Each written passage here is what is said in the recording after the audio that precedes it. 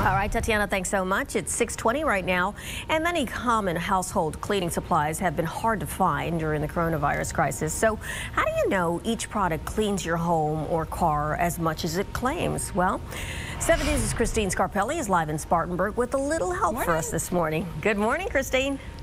I'm learning that I need way more help than I thought in this avenue. Also, using certain cleaning materials on other things, uh, maybe not on your face or your skin. Learning a lot this morning from microbiologist Mark. Here we are with Contec.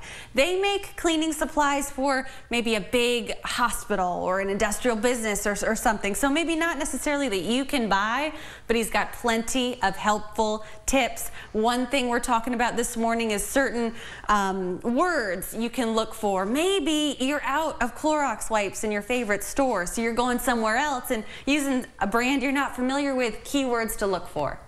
Uh, yeah, absolutely. So whether you're selling these to uh, people using them in hospitals or pharmacies, they all have the same key words. Okay. If they kill microbes, they need to say the word disinfectant on the front.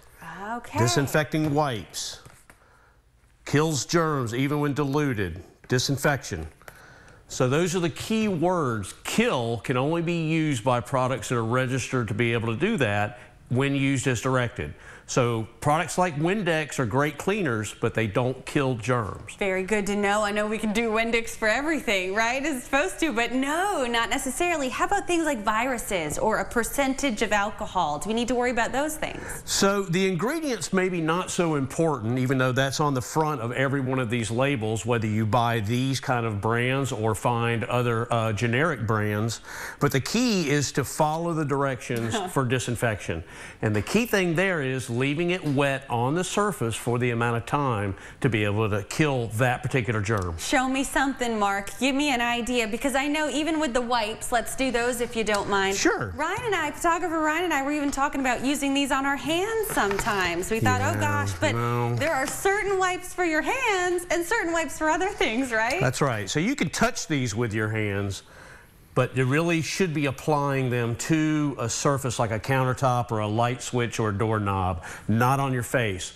Oh. Sanitizing wipes will say, for use on your body, these are for use on surfaces. Very good. And I see it's wet. You can you can see it's wet, but it has to stay that way, not wringing it out before you use it. That's right, and then not wiping it dry before it reaches the dwell time.